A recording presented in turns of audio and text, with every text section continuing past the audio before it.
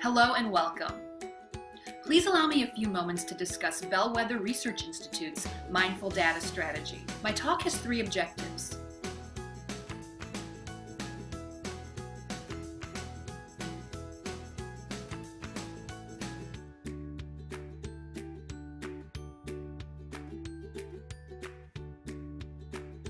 Let me tell you about our Bellwether Research Institute. Research Institute is funded by Bellwether Services, a global advisory firm based in Atlanta, Georgia. Our research team is focused on developing a consumer products industry greenhouse gas emissions model that helps save 3.7 million lives. Our pilot research project titled 770 Million Citizen Sustainable Living Idea Challenge utilized its digital learning ecosystem to reach, engage, and educate adult learners.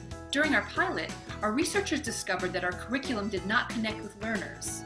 We applied quantitative reasoning to solve an adult learning challenge. For example, during our baseline period, adult learners rejected our content. See the attached chart for evidence. In order to connect with adult learners, our research team executed three steps. First, we analyzed our adult learner population and then designed personalized curriculum to fit the following consumer products group professions.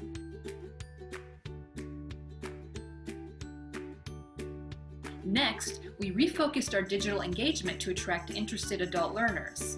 Third, we engaged and delivered environmental application curriculum to motivated adult learners. We attempted to generate higher levels of learning by applying evaluation and creating from Bloom's digital taxonomy.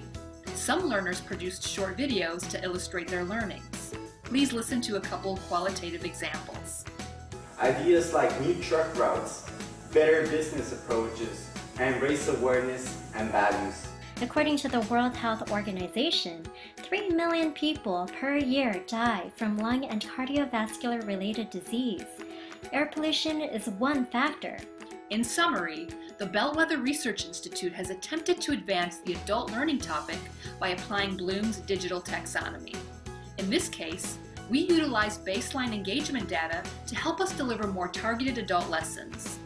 We are hoping our three step personalization, engagement, and digital validation methodology adds value to the entire adult learning ecosystem.